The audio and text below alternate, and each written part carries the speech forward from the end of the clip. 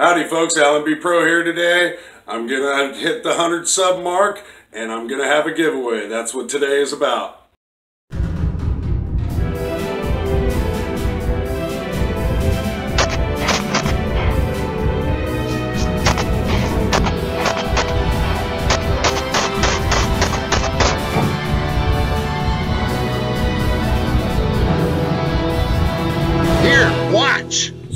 100 subs. Yeah, not a big deal to most people, but I'm thankful for every single one of you out there that has subscribed to me.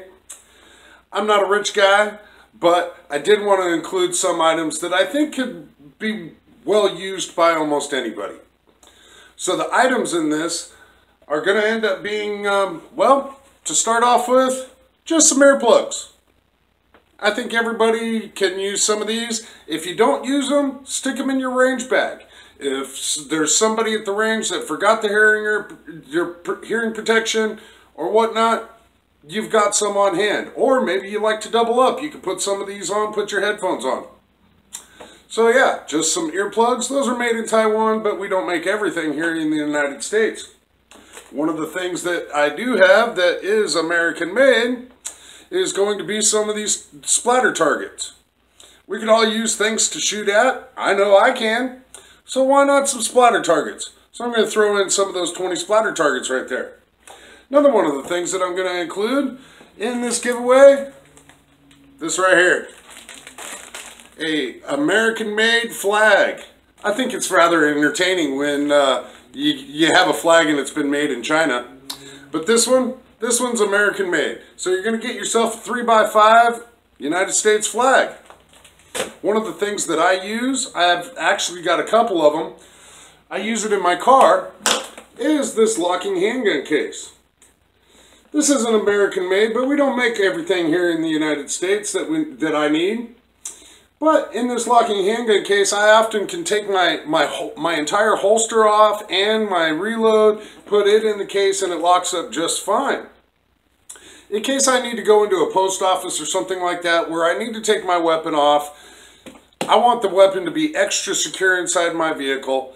This actually comes with a cable tether. It's not completely theft proof, but it's theft resistant.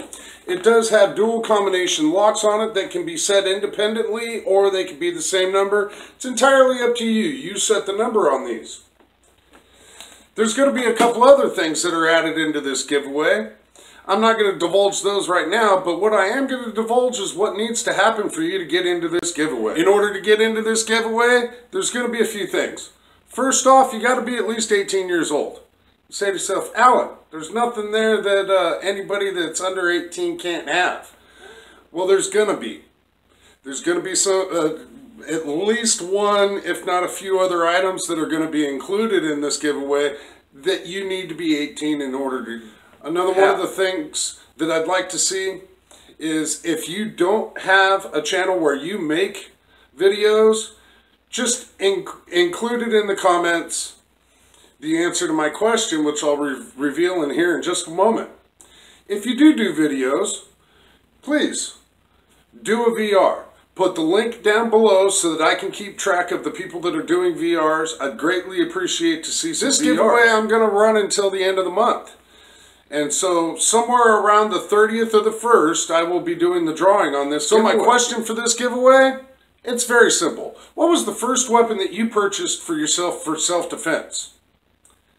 Do you still have this weapon? If you don't, what'd you do with it?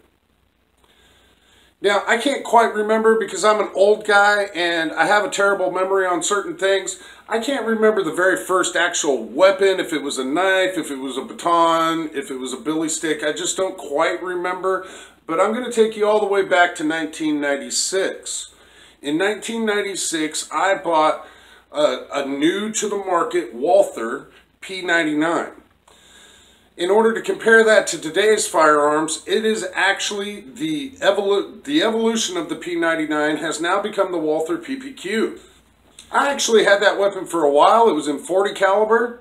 It was a full-size weapon. It wasn't the ide- most ideal thing for conceal at the time, but it was the very first firearm that I purchased for myself for self-defense.